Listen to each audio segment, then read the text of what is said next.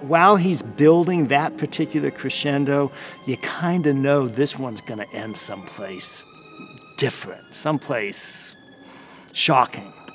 Um, and then it does.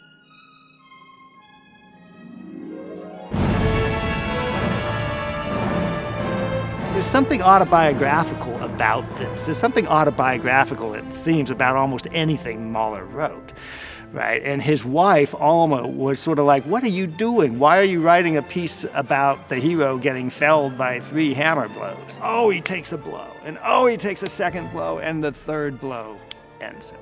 It just gives the last movement a certain characteristic of fate and foreboding that then casts its pall over the entire symphony.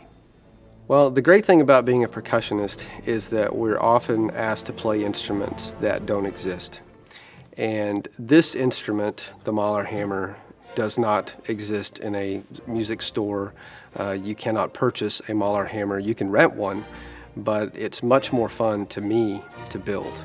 The box is heavy, yes. Uh, the box is around, I'd say, 130, 140 pounds and the hammer itself is only around 15 pounds. Uh, this old railroad tie uh, is, uh, is really dense and it added a lot of weight to the implement, but um, it's really created an amazing sound and an amazing force that I'm excited to share.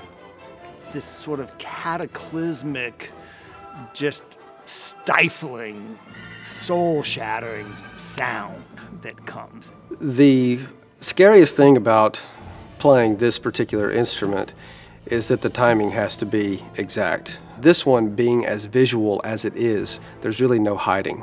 So when you bring the hammer up, it's time to go. And, and then when you see the guy wind up for the big swing and it comes down, it's like, wow. You know, it's breathtaking moments.